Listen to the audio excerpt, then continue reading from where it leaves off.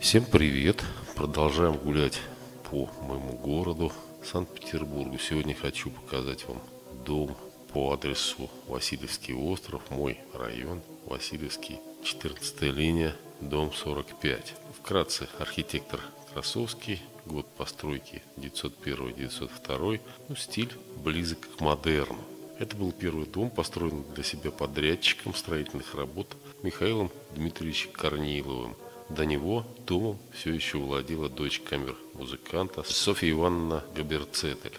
Данные я беру с сайта сети ВОЛС, каких-то других источников в интернете, которые я нашел. Надо сказать, что Иоганн Конрад Фридрих Габерцетель – это придворный камер-музыкант, пианист, музыкальный педагог, композитор. Построив дом, Корнилов поселился здесь и жил до самой революции вместе с женой Анастасией Павловной. Корнилов – потомственный почетный гражданин, подрядчик строительных работ, товарищ председатель общества пособия рабочих, пострадавшим при постройках.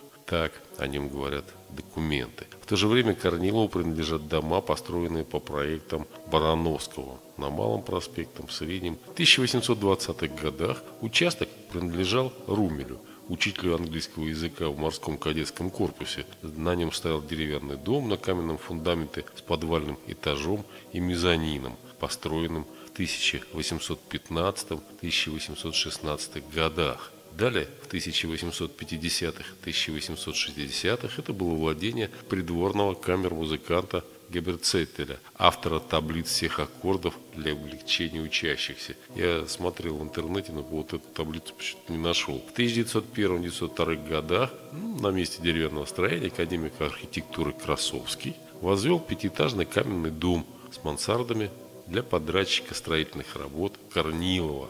В 1902-1903 годах здесь жил пейзажист искусствовед Грабарь. Он был одним из первых жильцов дома. Игорь Мануилович Грабарь, известное имя в истории русской культуры 20 века, стал замечательным художником, искусствоведом, художественным критиком, реставратором, педагогом, музейным деятелем и замечательным организатором. В 1913-1914 годах здесь жил академик Вернадский – Владимир Иванович, русский, украинский, советский ученый, естествоиспытатель, мыслитель, общественный деятель, академик Императорской Санкт-Петербургской академии наук, один из основателей и первый президент Украинской академии наук, создатель научных школ и наук биогеохимии, один из представителей русского космизма, лауреат Сталинской премии первой степени. Его интересы – это минералогия, кристаллография, геохимия, геология, почвоведение, радиогеология, палеонтология, ну и так далее.